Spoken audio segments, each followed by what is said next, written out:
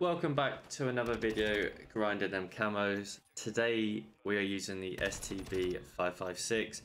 Really enjoyable gun. Make sure you give this a try if you haven't done already because I'm sure you'll enjoy. Right, I'll quickly show you what the gun looks like. Let's get in the sun, make it look all nice.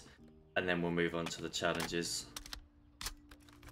Alright, so the basic challenges are 50 kills, 20 kills while mounted, 10 double kills, and 30 kills while crouched. That's why in the gameplay you'll see me crouched and mounting. Obviously not my normal playstyle. And as always it unlocks the gold, which is 3 kills without dying 10 times. This should be one of the easier guns I think, especially with uh, crouched and mounted. Mounted, just pick windows, doors, hold angles, just take your time. Don't worry about what anyone else thinks. Same with crouched, just walk around crouched or just wait. You know, people always moan in this game about playstyles. I do it as well, I'm not gonna lie to you. Hate camping, but you know, do what you gotta do to get them camos. Hopefully you guys enjoy the video. If you do, don't forget to hit a like. And if you want to see future videos like this, then make sure you hit that sub button. And I'll see you in the next one. Requesting recon flyover. Copy. UAV orbiting the AO. Recon is online.